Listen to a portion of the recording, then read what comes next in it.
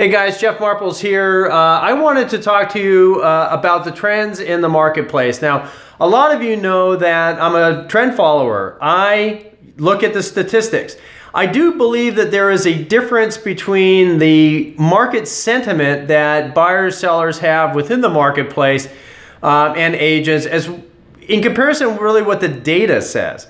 And I wanted to share the data, right? Because we want to work in reality. We want to follow the trends basically and look at the numbers. So I'm going to send, I'm going to show you rather uh, a report that I read. It's the Robert Cam or the Campbell, which is Robert Campbell uh, real estate timing letter. Now, Robert Campbell is a uh, real estate economist he graduated with an economy degree, economics degree rather, from UCLA a number of years ago. He comes up to the Bay Area um, once a year, and I follow him. I, I watch him speak, but I wanted to show you. Now, this is just single family not condos, okay, for uh, a number of California cities. But look at San Francisco.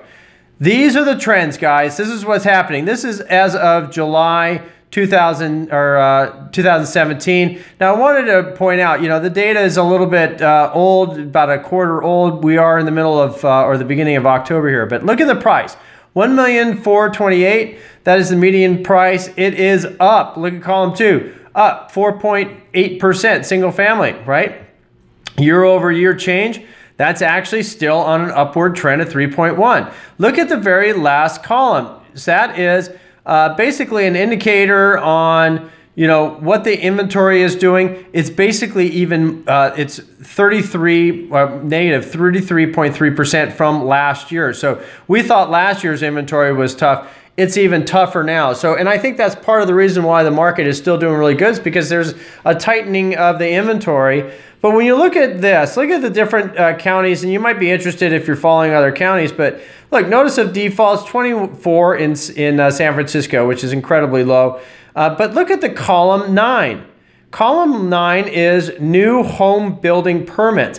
That is a leading indicator, guys. If you know of anything about following economics and real estate, follow different trends and this is a trend line right there. Because we want to know that the developers are developing in the area. When i see very low numbers look at los angeles negative 7.2 that means the trend is down. That means the confidence from developers is down. We want to see very strong confidence from developers and we have that in san francisco.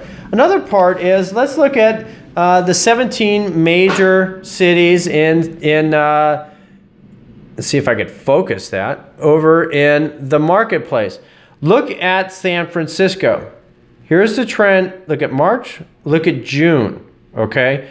The primary trend is up. This trend, the last turning signal, which was a buy signal, happened in March of 2012. So ever since 2012, the market has been going up. Look at prices, price change since last signal. So look at the look at the price appreciation, 92.5% from that last buying signal. So, you know, and look at the trend, the momentum. The market momentum trend is really an important trend to follow because that's really going to indicate what buyers are doing in the marketplace. You know, where's the momentum going forward? And so, you know, I know that there is a big difference between, you know, what people say on the street and the way they kind of feel.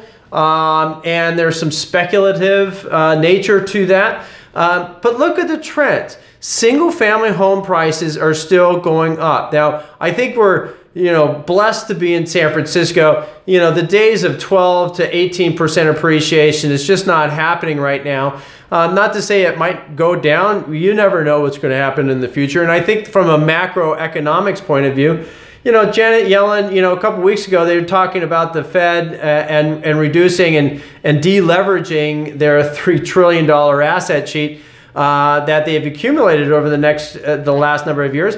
Nothing happened in the marketplace. Look at the Dow. The Dow didn't get touched that day. And I think realistically, we might have an interest rate adjustment, you know, of a quarter percent at the end of the year, but that's it. You know, I mean, they're going to be very cautious on this thing. Um, you know, it's like holding a, a cracked egg. You know, they they're they're not going to destroy it. So the way I look at it, interest rates aren't really going to be, moving too much, and even if even the, the long term trend, those numbers are still down, right? So really what you want to look at is the trends and follow the trends. Now I'm saying that, you know, in the marketplace that we're in, you know, buyers do have the opportunity to negotiate down. It's not like three years ago when you know 20 offers were on a property and everybody's going crazy. I think there is some uh, nervous anticipation in the marketplace where people really want to get kind of a deal.